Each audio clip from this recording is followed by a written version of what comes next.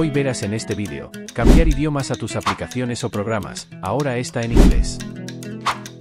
Y ahora está en español, aunque mi sistema de Windows 11 esté en inglés. Haremos clic derecho en Barra de tarea. Luego nos sale esto, y nos vamos a dirigir donde dice Tiempo e idioma. Presionaremos en Idioma y región. Una vez nos sale esto, idioma del sistema. Y no cambia por ahora. Más abajo nos sale el idioma inglés y español. Pero también podemos agregar un idioma. Así que daré un repaso rápido, por algunos de los idiomas que trae. Buscaré el de México, una vez aquí, daremos. Siguiente. Nos saldrá todo lo que traerá ese idioma.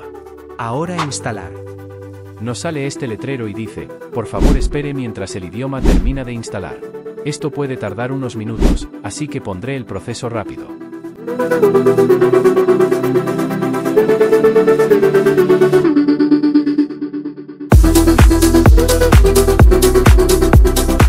Esperamos unos segundos y vemos el nuevo idioma. De estos tres pondré el de México. Veremos cómo se hace.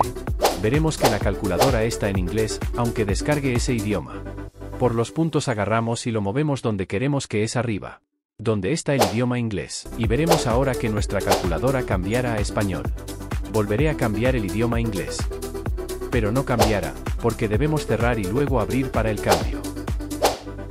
Ahora sí se ve, al cerrar la calculadora, haremos lo mismo con el idioma español y no cambio nada.